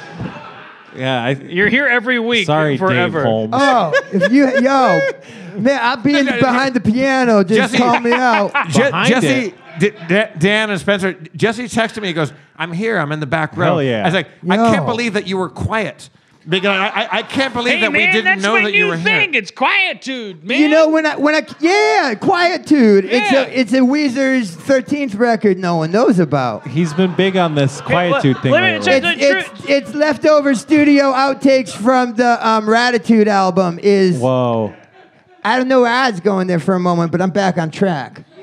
Um, I like this is a magical. This is this is more magical for me because I, I lo- come on, like Dan is is is the man and Right. and just amazing. Can we talk? Well, it was a music trivia. Let's And- get into. Can we talk about Phil Collins and Yeah. Tori All right, Amos? Okay. all But right, I uh, believe that. Uh, yeah, of uh, course, Dan. uh, You're. uh, Dan, do you want to try this is your house. Dan- it's like, yo, if you're like, yo, I want to whip towels on you boys, it's like down. I'm gonna come. I'm, Yeah. I, am gonna control this. Each of you get to ask each other a Phil Collins trivia question. oh. So you, Okay. you, Oh. you get to try to stump each other. I mean, can we Okay. just to clarify, Jeff? Yeah. Can we go throughout like Peter's entire career, which I believe traces back to 1968 or 69? Save it for the game. Save it for the game. Genesis album from the beginning all right, all right. So with Peter e- Gabriel, each- Mike each of you right- Rutherford. e- each of you right now think of a Phil Collins trivia question for each other. Okay. Okay. And, and uh, okay. uh, uh, Spencer, you get to pick. Do you have a coin or a die? Who, who can go first?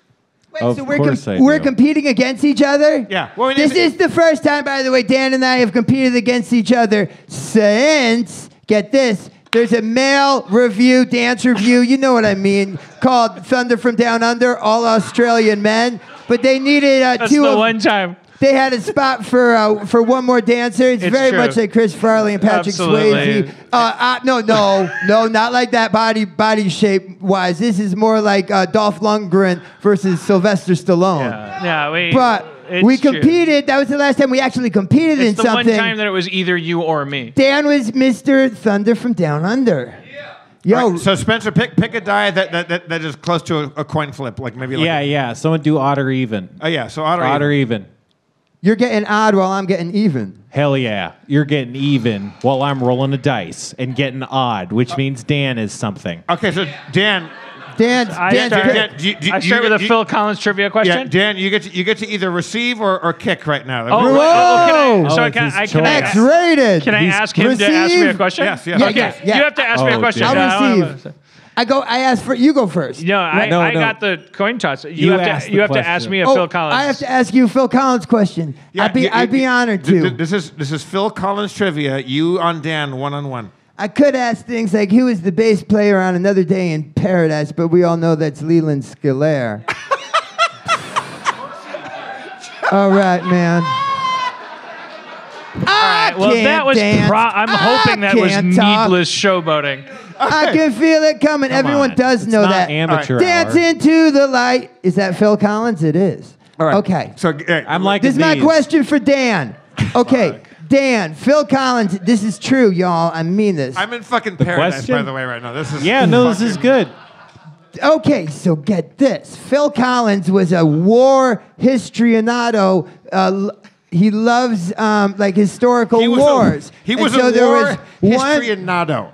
There, well, He was. There's one specific kind of war in the history of this country, and it's almost also a landmark monument in this country named after that war where it took place.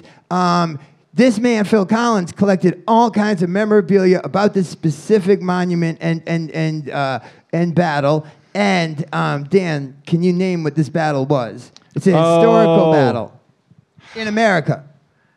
Gettysburg. Oh no. Oh no. Now, yo, the- all right. One of the great things about the Dynasty typewriter um, is the popcorn. We all know that available in the lobby if you're hungry. Oh yeah. If y'all need a food break, they made plenty of popcorn. They also got other concessions. It is half off now, so just go crazy. just don't throw it on the stage, because that'll bring back, like, you know, uh, it'll remind us of our Thunder from Down Under auditions when they would throw popcorn at us to make us dance. But, you um, snapped into like showmanship, like uh, yes. you're badass. Like you're you're like yeah. you. is it- You heard a music cue and you're like, anyways, here's the thing. I'm Jude Law in AI and I'm here to serve. Like, like, you just Jesse, fucking- what, what what was the battle? The Battle of El. Uh, no, no, no, no. The Battle of in San Antonio. Ozzy pissed on it. The Alamo. The Alamo. Oh. Get this. Oh, okay. But th- listen, I don't want you to just take my word for it. Is there someone with an internet connection that can verify that I'm not making up a random thing?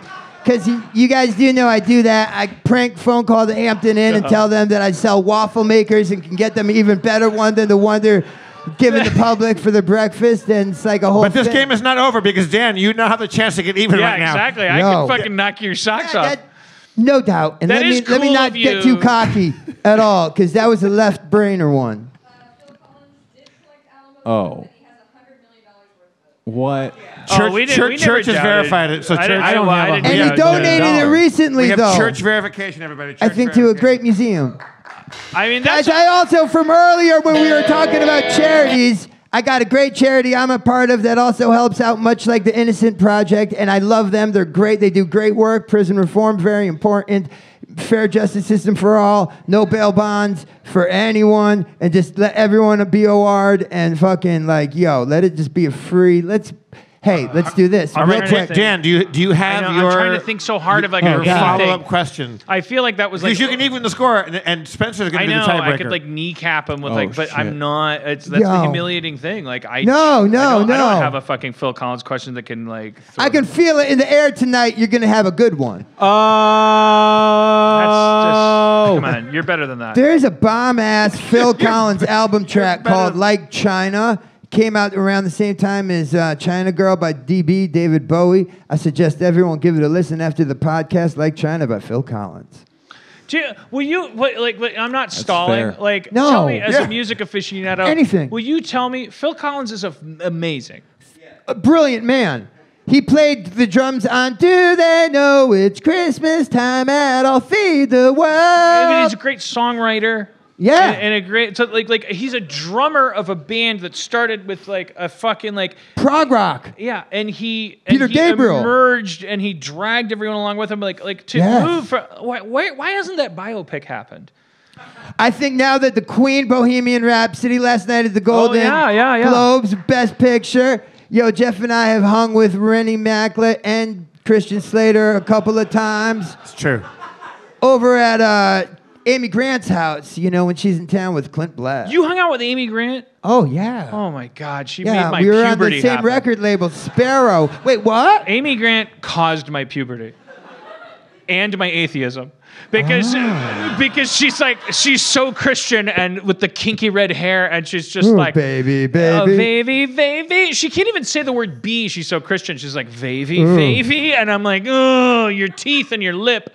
She has only been with one man. I can wanna assure you that. Soil.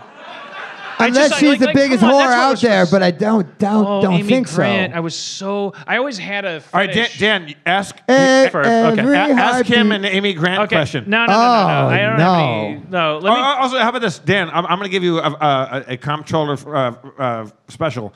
You get to ask him any question about any band because that's how fucking encyclopedic. well, that's more important, right? Because yeah, okay. So like, uh, so And really, one other thing just that needs to be said here too, because I, I, I'm not gonna not give Dan an accolade that's really due. Um, uh, the guy who's headlining the first week uh, of the first Friday shows of Coachella, um, Dan, he basically discovered and brought to prominence basically like a Miles Davis to music right now, which is gonna in the history books of all the amazing things Dan has done and is fucking gonna do.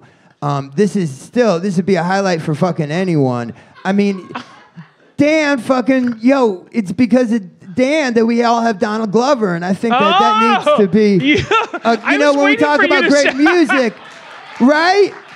I was like, I what mean, are you doing? that's, that's awesome, man. And you you gave him a platform to shine, and and, and shine he did, and you, it's just a beautiful thing you brought to humanity. deflect, deflect. No, no, no, no. But thank you, thank you. Amazing course. that you made that connection. But like also at the same time, no, no, no, no, no, no, no, no, no. Like, like, uh, yeah, because like, so yeah, well, well. Dan, Dan, you can pick any band, any any era, and see if you can stump Jesse Camp. Okay, and I'm like- still like, waiting for well, the I Phil Collins one. I almost want. I just want to like like talk. I want. Yeah. I, I want to like throw shit at you because I like, I feel like my my music tastes are so provincial. Like they're only. I know a lot of inside music biz secrets. like- I used like- to wash Clive Davis's Tell, cars. tell, tell me everything about Tori Amos. I, I, I Oh, like, yo! I, you- I, did you I- know? You because that's one of my famous MTV moments is me with Tori Amos singing "Dream On." Did I don't know, that? No, I don't know that. Oh, that's Googleable. Ooh. Ooh. Oh, that's Googleable. Man, take a look. It's in a book, Reading Rainbow. a Reading Rainbow. I can do anything. It happened. It's in a book. It's Googleable. Yo, that's that's on. But there's a lot of stuff about me that's Googleable, you- but that, that we don't need to get into. So you met Tori Amos. Yes. Oh, yes. Yes. And you sang In fact, her? two years before MTV, this is in like Wallingford, Connecticut. I snuck into a Tori Amos concert at like you know how you have maximum minimum security prisons. Well, there used to be this um this like place like three thousand person place in Wallingford. Conne- anyway, you could like anyone could sneak into this thing. It was, that's Connecticut. Connecticut is like minimum security concert venues. You know, Like, but that's. So you ended why are we on that? I don't know. That was on me. I mean, sorry for So that you're tangent. with you're with Tori Amos. Like, Oh yeah, two years later, I'm in her hotel room smoking, smoking, slipping on gin and juice, laid back. What is she like? What does she Uh, smell cornflake like? girl smells like cornflakes, but in a good way. like I ain't talking like those soggy ass cornflakes. I'm talking crisp and This is I'm being Oh, presented with a video of you and Tori Amos on my iPhone. It's Googleable. Everybody's got their views in life. This is a we're playing a video of you. This is you and Tori Amos. And I know this is going to sound crazy, but in the video you're wearing a ridiculous hat. so I thought I'd, so I thought Thank you, I'd bring it around and cr- br- I thought I'd break out another crazy hat. And this is pretty crazy. This this hat got 5150.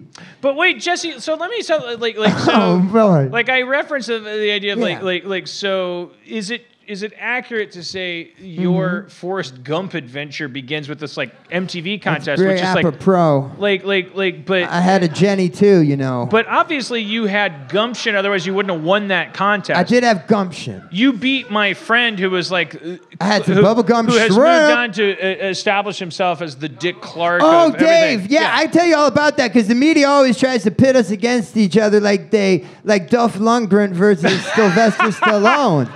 But Again, my question is, so obviously, or like Wesley Snipes versus the IRS. But you know? coming- Yeah.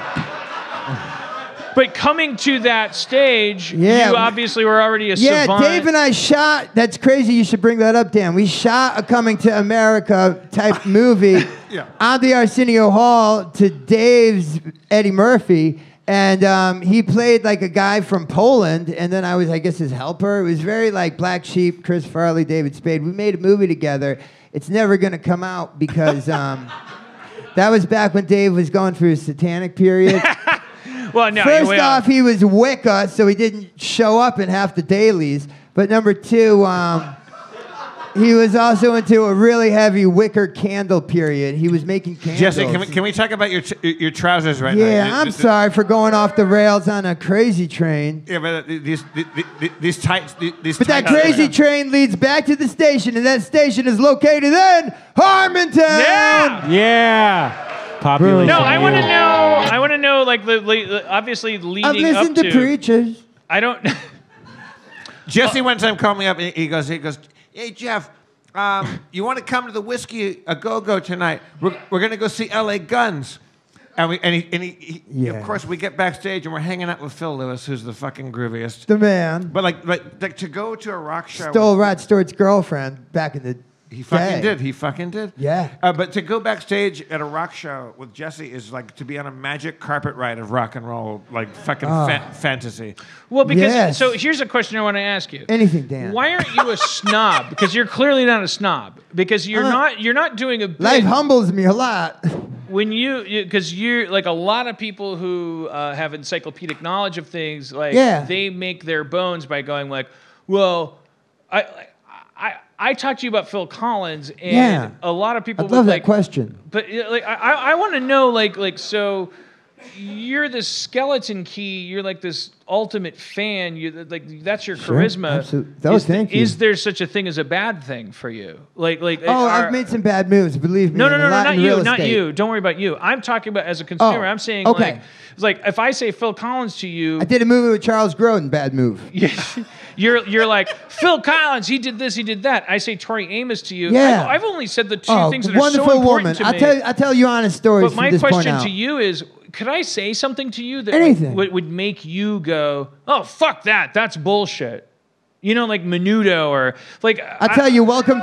One thing I'm glad you bring that up. One pet peeve of mine, although I think the public uh, definitely cried out against it, but it didn't need to be that mean to it. But um, it was very ill-conceived. The Steve Carell movie, Welcome to Mavine, about how he basically. So he's. Let's just go there with this real quick. He is a man that was at like a like a like a rough kind of bar, and he was just telling all the rough locals that he um that he got that he wanted to be a cross dresser or something. And so i don't know the alcohol got in them you know and they they like beat him well within an inch of his life like this group of people in england. So then this dude is brain damaged but goes to heal in this world where he gets a lot of like gi joe and weird like action figures and, and builds an imaginary life about that with him in it. And this movie's two and a half hours and it's called welcome to mavine. And it like had a 60 million dollar budget and i think it brought in maybe 1.2 million Wait, you mean Marwen? yeah, Marwen. I'm sorry. yeah, yeah. I got that confused with Aquaman. Wait, Wait, but you're saying you're saying okay, there's shitty movies. Okay, I don't no, but- no, recommend but- them. but dig- Yeah. dig, dig this, Dan. I mean, Uh, yeah, w- w- I- I can't believe Black Pan. What? That was. Um, I'm Je- sorry. Jesse, remember New, New Year's Eve 2000, whatever Mini it was. stroke. I'm out of it. And we're, we're, we're sitting like in the fourth row at the joint and at the Hard Rock in oh, Vegas. this is a great story. I'm And- glad we circled back. and it's uh, This is a beautiful time. But This no, is but- but- around the time that the white stripes were breaking. This is when the strokes were happening. This is when Interpol were fucking jamming out. That time Interpol. era. They were just starting to uh, communicate their fingerprint analysis with each other. Yo, yeah. Interpol yes. was, like, coming the up. English, you know, so I, police, I, I, read and it, I, then read, I read into Jesse and the girl that you were with at the time. Oh, Alexis, who was a crazy bitch. Fuck. All right. Well, that notwithstanding, There it is. Um, there it is. Well, I- we, we had extra tickets, and, and, and you're like, yeah, man, what's going on? I go, we got tickets like second row for the. She was uh, prostitution- uh, for, uh, Not for- right. Oh. For for she's okay. Well, She's not here to defend herself. No. Phil Collins isn't either, but I you think- had nothing but praise for him. Love Phil Collins. I, I, think well, he gets. then treat your get- he gets- ex-girlfriends as well as Oh, Phil yeah. Collins. You're right. You're right. so we're sitting She's there. got an invisible touch. Hey, she takes you in Now and that's makes more right like hold it. of your heart. She seems to have an invisible touch. We're all She back on takes you in. board. Oh, and shit. guys, I- Jesse, Hold in your heart. Jesse, you, you know the story. I don't know her. have, we, have we ever To talked me, only it's all know the her same. But when she gets into your heart, you'll You'll never be the same. But Oh, now I know she's got a built-in ability to take everything you see. And now it seems I'm falling, I'm falling for her. She seems to have an invisible touch. Hey. All right. Hey. Yeah. All right. Sorry, it was it was wait, wait. specifically The your colored lights. indulgence that triggered us to stop. But uh, J- Yeah. J- How Jesse, does that make you feel? It's a hard One, one thing. time. Oh, yeah. One, one time, Dan, we all got. Oh, back to New Year's Eve though. Super okay. quick. All right. Now, now, Thank, thank you. now. So the band Velvet Revolver are on stage. It's the late great Scott Weiland of STP looking like anorexic Finn. He's got like one of them like police um, caps on his head. Yeah, like, like a Nazi, like officer hat on. Yeah. Okay, yeah, very Kenneth Cole. Okay. Right. Sure. Like, You know- kind That's of optimistic. Like take me down, like like uh, like faster pussycat kind of thing. Yeah, tame me downish. Yeah, just six million Take me Jews. down. killing- And so we're sitting there and we're watching it, and cool. it, it, it's like it's and ele- then it's, it's slashing 11 him and it's Duff, Matt Sorum as well, and then a, a, a weird um, like man like a he, Mr. Clean but with a mustache dude, Dave Kushner, Nice. w- which nice is now a marijuana strain at the what did local. I tell you? Shut up. That was yeah. Yo, Sorry. So sorry. and, and- anyway, No. so we're watching it and it sucks. And Jesse and I just happen to be there, Oh, this and, is and we're good, sitting. Dan. We're like Oh, we're sorry. like four like four seats away, and I look I look over at Jesse, and Jesse's looking at me, and I go, "What do you think about this?" Because like, it's, it's it's like ten minutes till midnight on New Year's Eve, and Jesse looks at me and he goes.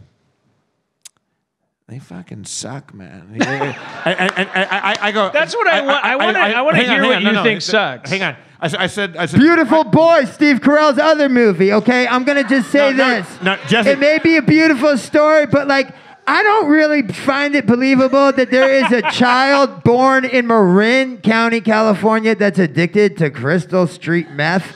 Don't buy that when Adderall is so readily available. I just, that's a big leap of faith in the plot that I really gotta, you know. But if we're gonna talk about prison reform, how unfair the justice system is, and how redlined and rigged it is against people of color, you know, and believe me too, it's not, you know, Black Lives Matter, but it's like when it comes to the poor, no lives matter, and we as a nation gotta like come up on that. And when we do, prison reform is part of that, you know. But this is what I'm getting at, and I think I remember what I'm getting at, and I'm trying to install right now. Buffer in, buffer in. Jeff, I can't believe that I'm having a senior moment at the age of 39, but it happened. 39. No, I'm just kidding. I'm just being false humble. But let me tell you, that, no, I um, am having a senior moment. It's tough to know. I'm going in and out of it, but I do remember we were talking about Amy Grant. And right, Hey, how hey. beautiful and wholesome she was, kind of like Tori Amos Wait, before can- all the kids with Dean Can, can, McDermott. you, can you put Jesse on the on the vocoder? Like, Oh yeah, but did we get to the punchline of the Velvet Revolver concert that everyone is so like Yeah. invested in knowing the ending of?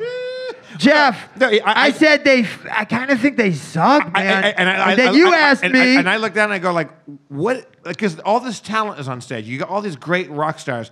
I go, what is it that, that they're not doing? And Jesse brilliantly goes, where's the songs? He goes, they got no songs. And, and that was fucking brilliant. Yeah. And we and we stood up and oh, left. Oh, shit. Yo, we proceeded to party the rest of the night with Carrot Top, our brother. Partying with Jesse Carrot on the- Top. Has Carrot Top been to Harmontown yet? Why the fuck not? We you get know Chris he's got Angel. fun props. I love the top. Yo, the top. I love the top. I top. think the top could work a room that's like audio and like can't see the props. You'll never meet a The top nicer of the fucking charts. person in your life than Carrot Top. He's Let's the most, answer No. the question. Salt Where are of the, the songs? earth. Let's Hit do it. it. Hit it. Speak for the Hit it. hardworking prop comic. Yo. No, no. Hit hit something. No, hit a uh, different- less percussive. It's more about singing than rapping. Where are the songs? Is the question. Where are the songs? We're gonna Velvet answer. Revolver had a great song, Sliv- uh, Slither, which, but other than that, there was really a lot of filler on that album, you know? So, like, There's it was one kind of like a painful, yo, tell me your Velvet. Okay, and then Oh, we get no, off Velvet Revolver more. because we're with Dan, and you know what? Honestly, Dan. No. Brother, it is an honor being in your presence. I mean that from the bottom All of my right, heart. And No, it's like, why sounds the fuck am I talking like over? No, like no, no, you? no. This We is love like this. being on fucking Stern is being at All right, Harmontown. all right. no, we're okay. loving your end. But the this way is awesome. Dan's nonlinear interviewing, it's like Tom Snyder, like but a little drunker, Yeah, I but a it, little I get it, I smarter get it. too. Right. And with the good looks of Paul Rudd, my God, Dan Right. is handsome. Okay, He's all I right. could see You're- Dan marrying all right. Eva Longoria. Okay. He's course. that level of hot. Obviously, you can come back every week. Okay. Obviously, but I disagree with all of those points. No. I am not. Wait, that wait, Chris handsome. Hemsworth said, "Is Dan Harmon our fourth brother?" Where's the songs? And our Billy Baldwin Where's to boot. I'm telling you, I'm telling you, like I was so. Like, Amy Grant was like, "Baby, baby, I wanna," mama, mama," and MTV was like, "Hey, she's Christian. She won't. She's like singing about her husband," and I was like, "Yeah, she is."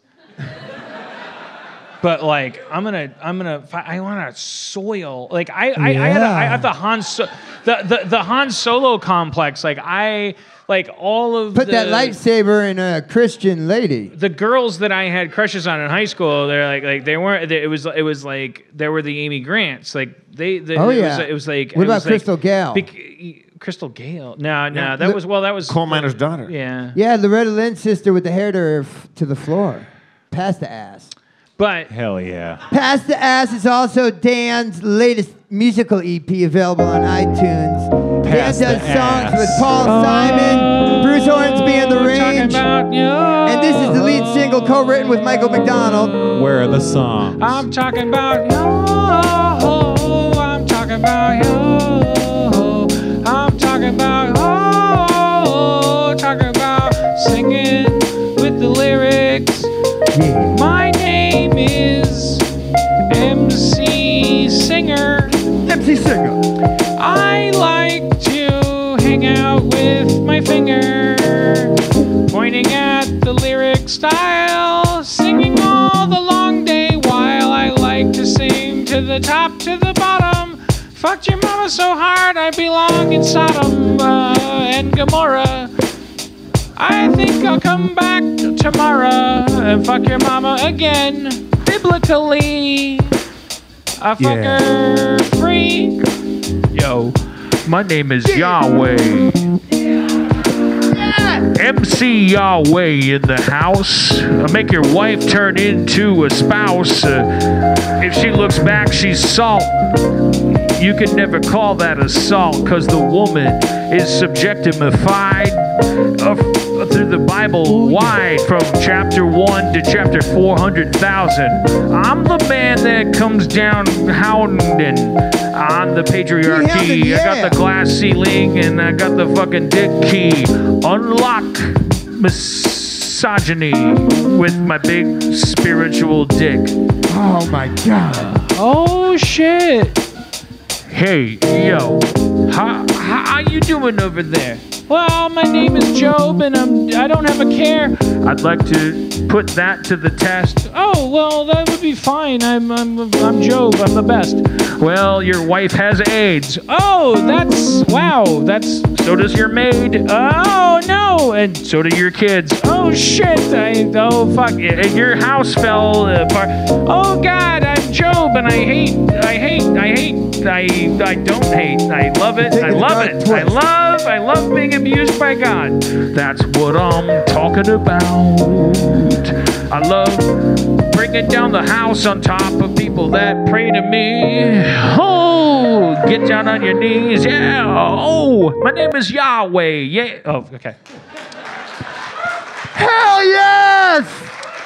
Job. That was brilliant. That is one No, for the at- you tell 'em archives right there. This All is the this is the man who discovered Childish Gambino. No, is it- Dan fucking can't- Harmon. Uh, I can't. I You can't. basically gave him Wait, uh, talent. do you, do, uh, Jesse, Yo. Jesse, and Jesse and Dan, do you think you you could freestyle together a little bit? Can't we do something together? Yeah, fuck uh, yeah, like is- Zach- California Love. Zach, you got a beat? Think about Yeah. us doing something together. like Zach. California Love. I'd be yeah. honored to be on the track. I want to do like something But like uh, you- you- you, you can do the rapping, Dan, and then you might just put in like the Rihanna A hook? Yeah, you put the hook on it. All right. This is the tale of Captain Jack Sparrow. Yeah, that's been taken. There it is. Like All that. right, Zach, The you got something for us? Oh, All right. shit. This like John Travolta without the weave, y'all. This is straight dirty. It's seductive and actually in the dark looks a lot like Bruce Willis. Get ready for it. Here we go. When I look at you, I see the sky in my nose and my eyes. I see you and I look within. I see your family, my kin. I see love. Yeah. The man sees the love all the time. He's got a big, big heart, and he wants you to know that empathy and love are the best weapons that we have in this world tonight. I, yeah. He's got a beautiful heart, he's got a beautiful soul, but when it comes to gambling, he's got no control. I, I'm He's an that kind of a inveterate gambler. bitch. It's true. Yeah. But when he watches R. Kelly or he watches the show that I'm talking about. Nancy Grace, yeah, that bitch, that hoe. Yeah. He gets pissed at her. That bitch is full of shit, and I'm saying it. He's saying it. Nancy Double Grace, down. Double down. I'm double down. down. Double We're down. not here to make a political bed. statement. Okay, my mic I'm went an I gotta let you know my favorite Colin is Hanks. Oh my Double lord, that's not true. I like Colin Farrell. And I Double also like. Colin Hay from Men at Work. I like a lot of Colin. Like Colin Quinn. Great comedian. We gotta get Colin Quinn on. Yo. I'm Amy a Quinn, robot. Where you at, Amy? Amy's husband is a dude named Clint Yeah. Black, and right now we just want to we just want to talk to you, Clint. Yeah. We just want to give you a message. Listen, we just want to have Amy Yeah. and you over. Me and Dan have a timeshare in Boca Raton. We want to fly you and Amy in. It'll just be you and Amy and me and Dan. Three guys, one woman. We'll give you twenty-five thousand. We all share Amy. Yeah. If I'm getting in trouble for having this out loud, I feel I might uh, regret that offer. Okay. Yo, one thing that should be noted. Okay, oh my God. Yeah. Before this gets Michael Richardsy, let me just preface this.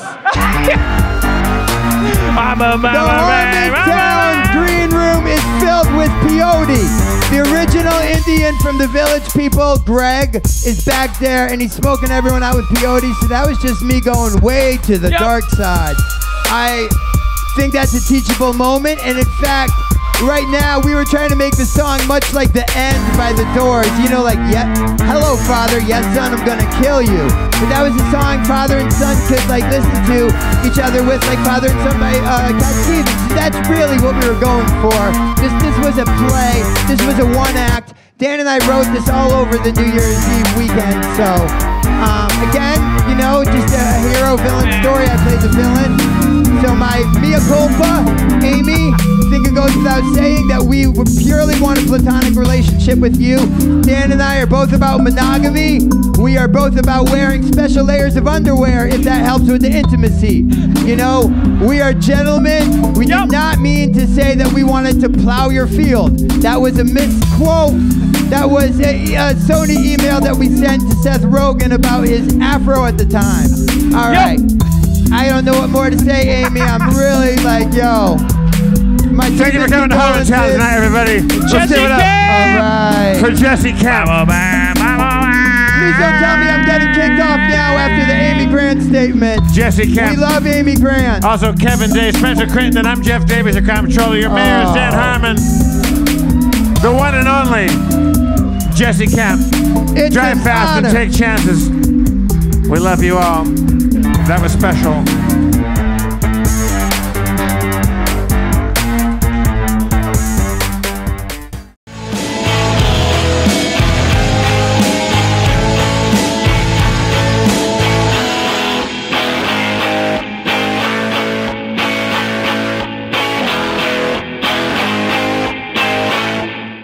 Did you get any of that? It's a good show.